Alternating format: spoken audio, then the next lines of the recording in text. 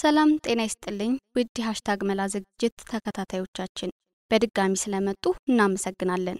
የመጀመሪያዎት ከሆነ ግን ሀሽታግ መላ እነዚህንና መሰል ጠቃሚ መረጃዎች በየዕለቱ እንዲደርሶት ከፈለጉ ከስር የሚመለከቱትን ቀዩን subscribe የምትለውን ምልክት በመጫን ደንበኛችን ይሁኑ።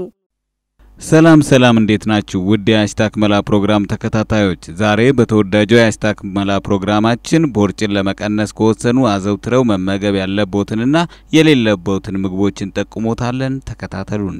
በቅድሚያ ግን ቦርጭን ለመቀነስ መመገብ የሌለቦትን ምግቦች እንመልከት። የመጀመሪያው ጣፋጭነት ያላቸው ምግቦች ናቸው። ቁርስን በሰዓቱ መመገብ ቦርጭን ወይንም የሰውነትን ክብደትን ለመቀነስ ይረዳል።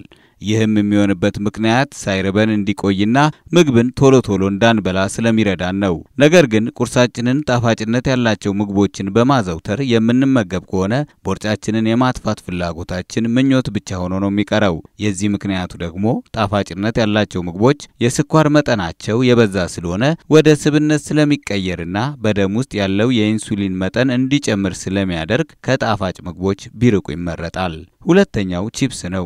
በ2011 በሃርቫርድ ዩኒቨርሲቲ በ120 ሺህ ሰዎች ላይ በተደረገው ጥናት መሰረት ቺፕስ አብዝተው በመመገባቸው አላስፈላጊ የሰውነት ክብደት እንዳመጡና እንደጨመሩ ጥናቱ አመልክቷል። ስለሆነም ድንች በካርቦሃይድሬት የበለጸገ በመሆኑ ውፍረቶን መቀነስ የሚፈልጉ ከሆነ ባይመገቡ ይመረጣል ማለት ነው። ሌላው የለስላሳ መጠጦች ናቸው። የተለያዩ ንጥረ ነገሮችን መጠቀም ለሰውነታችን ጤናማነት የሚመከር ቢሆንም የ soda diet ን መጠቀም ግን አይመከርም። በ2015 የአሜሪካው journal society studies ባደረገው ጥናት መሰረት ዳይት ሶዳን የሚጠቀሙ ሰዎች በተለይም በሆዳቸው አካባቢ የሚታየው ውፍረት ከዚህ ቀደም ከነበረው ሶስት እጥፍ መጨመሩን ጥናቱ ያስረዳል። የስኳር መጠኑም የበዛ ስለሆነ ለስኳርና ለአከርካሪ ሕመም ስለሚያጋልጥ አለመጠቀሙ ይመረጣል። በእንፋሎት የበሰለ ስጋም ሌላው ቦርጭን ለመቀነስ መመገብ የሌለብን ምግቦች ውስጥ የሚካተት ነው። ቦርጮን ለማጥፋት ከፈለጉ በእንፋሎት ወይንም በፋብሪካ ሂደት ውስጥ የሚያልፉትን እንደ አሳማ ስጋ አይነቶችን ባይመገቡ ሲሉ ተመራማሪዎች ይመክራሉ። እንደ ተመራማሪዎቹ ከሆነ ስጋዎቹ የእንፋሎትና የሶዲየም ናይትሬት መጠናቸው የበዛ ስለሆነ ክብደቶ የበለጠ እንዲጨምር ስለሚያደርግ ባይመገቡ የተመረጠ ነው። ሰው ሰራሽ ሰላጣም ሌላኛው ቦርጭን ለመቀነስ መመገብ የሌለብን ምግብ ነው። ሰላጣ መመገብ የተስተካከለ ቅርጽና ጤናማ እንድንሆን ከሚያደርጉ የአትክልት አይነቶች ቀዳሚው ነው።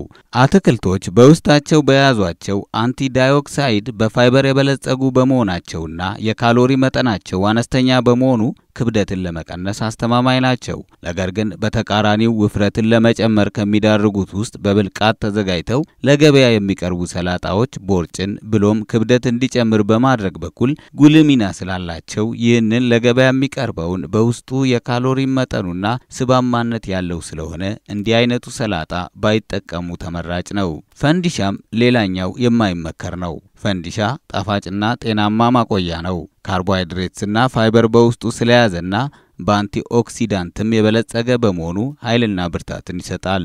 ፊልም፣ ቲያትር ስንመለከት ወይንም የእግር ጉዞ ስናደርግ ለገበያ የሚቀርቡ ፈንዲሻዎችን ባንጠቀም ይመረጣል።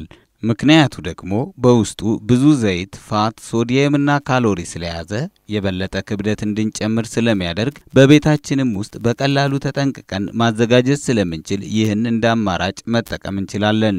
ቦርጭን ለመቀነስ መመገብ ከሌለብን ምግቦች መካከል የዳቦ ቅቤም ሌላኛው ነው። የቅቤን አማራጭ የያዘው margarine እንደፈለግን በገበያ ላይ ማግኘት እንችላለን። የካሎሪ መጠኑም ለስኳር በሽታም ሊያጋልጥ ስለሚችል እጅግ የበዛና የሚያወፍር ንጥረ ነገር በውስጡ ይዞ ይገኛልና ቦርጮን ለማጥፋት ወስነው ከተነሱ በተጨማሪም ለስኳር በሽታ ሊያጋልጥ ስለሚችል እንዲመገቡት አይመከርም። ነጭ ዳቦም ሌላኛው ቦርጭን ለመቀነስ መመገብ ከሌለብን ምግቦች የሚካተት ነው። ብዙ ሰዎች ዳቦ ምንም አይነት ጥቅም የሌለው የሚመስላቸው ግን ደግሞ በማንኛውም የምግብ ሰዓት አዘውትረው ሲመገቡ እናያለን። ጥቂት የነጭ ዳቦ slice ኦችን ወይንም ቁርጥራጮችን ስንመገብ ከትንሽ ደቂቃ በኋላ የምግብ ፍላጎታችን ስለሚጨምር ቦርጭን ለማጥፋት የሚደረገው ሙከራ ለውጥ አልባ ነው የሚያደርገው። እንደውም starch ነት ስላለው ቦርጭን ካለማጥፋቱ በተጨማሪ በደም ውስጥ የሚገኘውን የስኳር መጠን በመጨመር ለስኳር ህመም ይዳርጋል። ዳቦ የሚወዱ እንኳን ቢሆንም ፋይበር፣ ቪታሚንና ሚኒራል የያዘ ስለሆነ የሰውነት ክብደቶ የበለጠ እንዲጨምር ስለሚያደርግ ባይመገቡት ይመከራል።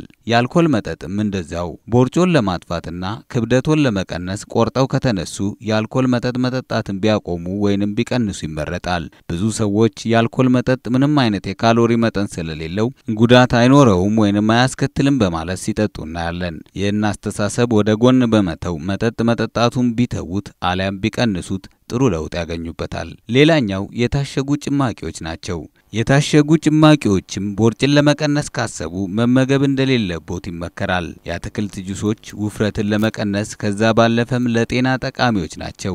ለሰውነት አልሚነት ያላቸውን ንጥረ ነገሮች በውስጣቸው ይዘዋል። ከዚህ በተቃራኒ ግን በፋብሪካ ሂደት ውስጥ አልፈው ለገበያ የሚቀርቡ የታሸጉ ጭማቂዎች ጥቅማቸው ብዙም ስላልሆነና በምርት ሂደት ጊዜም ማግኘት ያለብንን ስኳር በ fructose ስለሚቀየር ባትጠቀሙ ይመረጣል። ይህንኑ ሀሳብ ለማጠናከርም በ2010 Psychological Review ባደረገው ጥናት መሰረት fructose ለውፍረት መጨመር ዋና መንስኤ መሆኑን አረጋግጧል። ታዲያ ቦርጭን ለመቀነስ መመገብ ያለብን ምግቦች ምን ምን ናቸው? አናናስ፣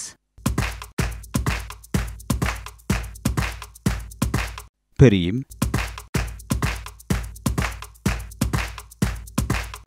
ፖም ወይንም አፕል፣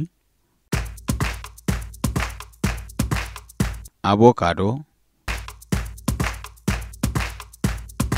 ቲማቲም፣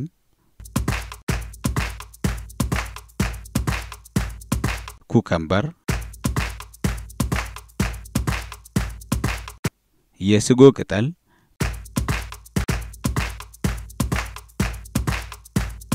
ባቄላ፣